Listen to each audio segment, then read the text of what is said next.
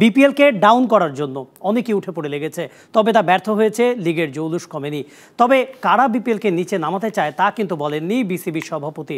আজ সিলেটে গিয়ে নিজের প্রতিক্রিয়া জানান বিসিবি সভাপতি নাজমুল হাসান পাপন। বিপিএল এর বিরুদ্ধে বন্ধ করা বা এটাকে একদম ডাউনগ্রেড করার তো কম চেষ্টা চলছে না, কিন্তু তারপরে তো আমরা থেমে থাকিনি। আমরা আমাদের কাজ করে যাচ্ছি। চলমান বিপিএল থেকে পাকিস্তানি ক্রিকেটারদের দেশে ফিরে যাওয়াতে লিগের জৌলুস কমবে কিনা এমন প্রশ্নের উত্তরে পাপন বলেন। পাকিস্তানের প্লেয়াররা চলে যাবে এটা নিয়ে একটা হুলস্থুল হচ্ছে। তাতে কি অন্যরা কি বসে আছে? যারা আনতে চায় তারা এখন অ্যাভেলেবল প্লেয়ার নিয়ে আসুক। ফ্র্যাঞ্চাইজি যদি না আনতে চায় তাহলে আমাদের কি করার আছে? মানে আমি জিনিসটা বুঝতে হবে এটা ফ্র্যাঞ্চাইজি বেস টুর্নামেন্ট সো আমার ধারণা যারা নাকি মনে করে যে তারা চ্যাম্পিয়নশিপ ফাইট দিবে তারা ঠিকই আনবে প্রত্যেকেই নিয়ে আসবে। সাকিবের রানে ফেরা তাসকিনের বোলিং আর তৌহিদ হৃদয়দের পারফরমেন্সে মুগ্ধ পাপন।